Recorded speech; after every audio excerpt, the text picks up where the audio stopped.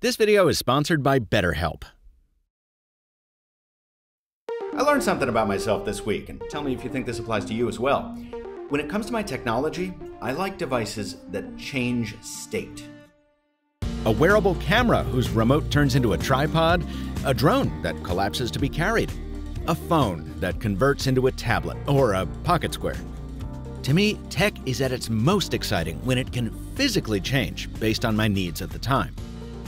Microsoft is no stranger to that approach, having kicked out three generations of its Surface Book over the past half decade or so, and I've just spent a week with the convertible that replaces it. This is the Surface Laptop Studio, a Windows 11 PC that can transform into your digital drafting table or a top notch YouTube tablet, but which I mostly use as a pretty powerful, pretty pricey conventional laptop.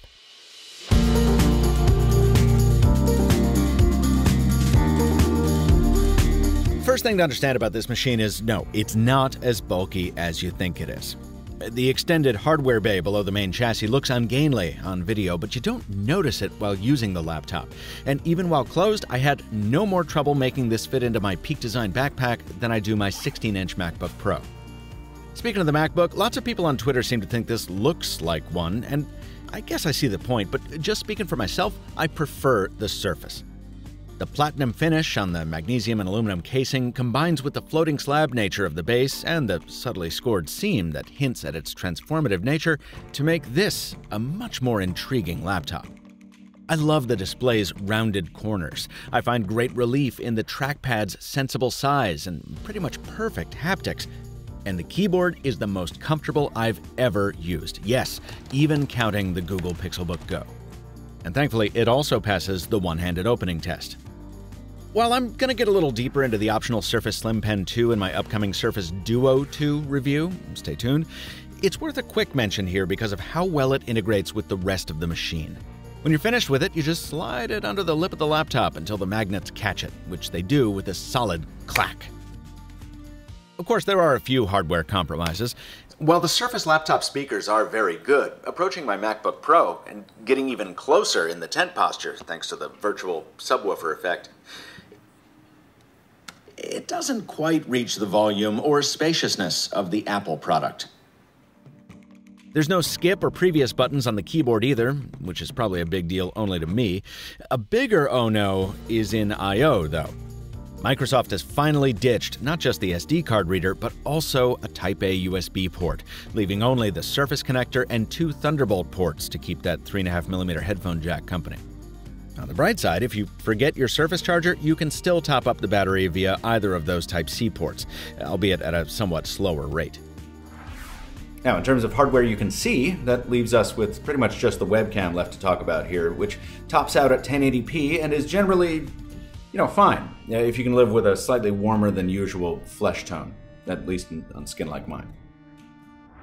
All that's well and good, but what about the thing that makes this a studio? We'll convert to that right after this. Are you completely sick of hearing how life since 2020 has been a brutal crucible that challenged all of us? Yeah, me too. But here's the thing it's true. And being sick of something doesn't really help you process it. Well, this video is sponsored by BetterHelp, whose entire mission is to help you through life's challenges. Look, talking with your friends is great, but sometimes you need a professional, someone who's literally trained to listen and help you. It's not a crisis line, it's not self help, it's professional counseling, without having to go into a physical office just to sit in a waiting room. See, BetterHelp matches you with one of over 20,000 licensed professional therapists, and it all happens online. That means you can get help anytime and anywhere just by sending a message. BetterHelp is available worldwide. You can start talking to your therapist within 48 hours after signing up, and it's more affordable than traditional counseling. Better yet, you can get 10% off your first month if you sign up at betterhelp.com slash mrmobile. That's betterhelp, H-E-L-P, dot com slash M-R-M-O-B-I-L-E. Thanks to BetterHelp for sponsoring this video. It's an absolutely bizarre feeling to transition this machine from laptop to studio the first time you do it. The magnets that anchor the screen are strong, so you, you almost feel like you're breaking it. And at the same time, the so called dynamic woven hinge doesn't offer much resistance. Actually, I find it strange that Microsoft chose the name Dynamic to describe that hinge because it's not. It's fabric, so it can't actually hold the display in place by itself. Instead, those magnets do the job, locking the machine into laptop, tent, or easel postures. Everything in between is Floppytown, USA. It's a shame because, you know, sometimes I'd like to tilt my display without changing the position of my keyboard, but a more complex hinge would have added thickness or weight, as we've seen on similar PCs with this design. So, as usual, everything's a trade off. I'll be straight with you. I have found over the past week almost zero reason ever to use this thing in tablet mode. The one time I did, I was walking down the street and needed to create a new Google Calendar in a hurry, which Google makes you do on the desktop, so it was handy for that. But at four pounds, it's the bulkiest, heaviest tablet you can imagine. It's not designed for that. It's designed for applications like I saw David Kogan demonstrating in the office one day, using it like an easel to crop and trim graphics in Photoshop. I'll link to his real world test below. Or for actual artists, like this guy who did a whole video review of the drawing experience. Hat tip to Dan Seifert for turning me onto that video, which I will also link below. One aspect that's unfortunate the 14.4 inch display is not quite bright enough to use outdoors, it's too reflective as well, and it's also polarized in such a way that using it while wearing sunglasses is impossible. Indoors, it's well suited for the job, though, with its 120 Hz refresh rate and spacious 3 to 2 aspect ratio. And the Surface Slim Pen 2 I covered earlier has built in haptics for supported applications to give writing a little more tactility. If my workflow is pen based, this is absolutely the machine I'd go for. But since it's not, I generally find myself using this as more of a Surface Laptop Pro, if that makes sense. And that's where it kind of breaks down for me a little bit. I'm grateful the option exists to buy this thing with a discrete GPU, but it's a mid range one. And the H series Intel CPUs available are middle of the pack as well. I could play Star Wars Squadrons just fine, but at maximum settings, the frame rate got low enough for me to notice, which hasn't happened on any other machine. Now, this isn't a gaming laptop, but for the prices we're talking, I still found that disappointing. Ditto the choice to ship the machine with the 102 watt power brick instead of the bigger one that came with the Surface Book 3, which, as Dan Rubino points out in his review, can mean that if you're pushing the machine real hard, you'll gradually lose power, even if you're plugged in.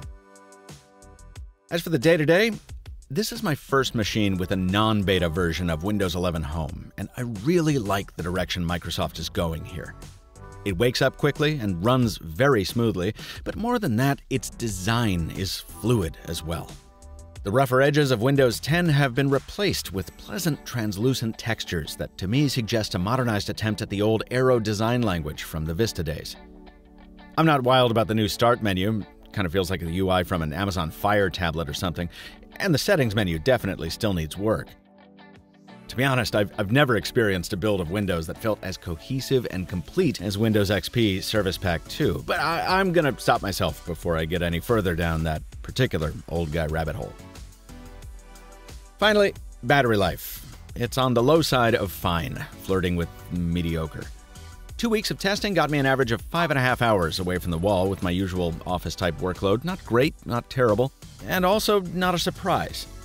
This is a Core i7 with a discrete GPU, not an ARM powered ACPC, after all. If that sounds like a weird combination of compromise and capability for a price of between $1,600 and $3,100, well, it should also sound quite familiar. Because that weirdness is where a lot of Surface products have always lived. Pragmatic buyers should look elsewhere for maximum value, such as Microsoft's own Surface Pro 8. The Surface Laptop Studio seems more about blending niche features with standout design to produce something that designers and engineers will love to use instead of just put up with. Something that gives Microsoft a little more cachet and cool factor, and gives its manufacturing partners something to build upon. If niche weirdness is your kind of tech, folks, stay tuned for my Surface Duo 2 review coming up soon. And for a much deeper dive on the Surface Laptop Studio, check out my buddy Daniel Rubino's coverage over at Windows Central. This review was produced following about eight days with a review sample provided by Microsoft, but I never give manufacturers editorial input, copy approval, or even an early preview of my reviews. They're seeing this for the first time right alongside you. Until next time, thanks for watching and stay mobile, my friends.